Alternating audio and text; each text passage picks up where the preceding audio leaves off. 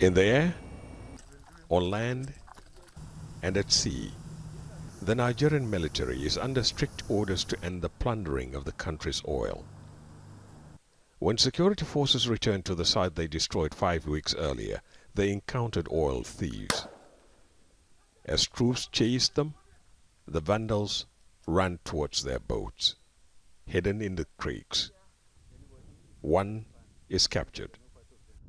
Uh, in terms of crushing these uh, illegal uh, refining sites, we have crushed thousands of them.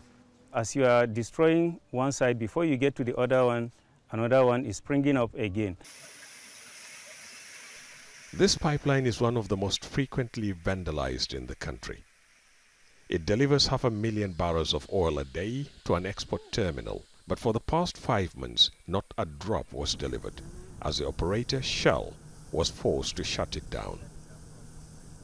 We've had situations where when we go into cooking camps, IRS camps like this, they've set fire to the camps, you know, endangering us and um, our equipment.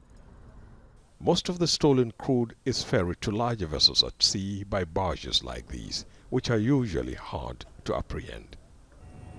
Flying over the creeks, the devastation caused by oil bunkering is massive.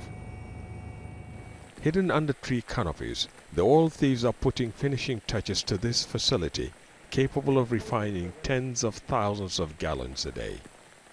And instead of using firewood, they now steal gas to distill the crude.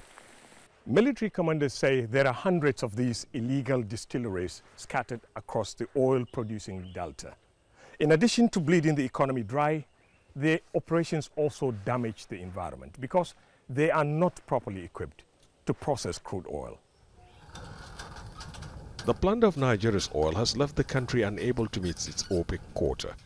Activities are going on as I speak to you now uh, so much collaboration going on with the communities to make sure that they are also involved in the process of protecting these assets. The company looks up to the renewed clampdown to return to profitability. But with all thieves continuously changing their tactics, it could be a long while before that will happen. Ahmed Idris, Al Jazeera, in Nigeria's oil producing delta.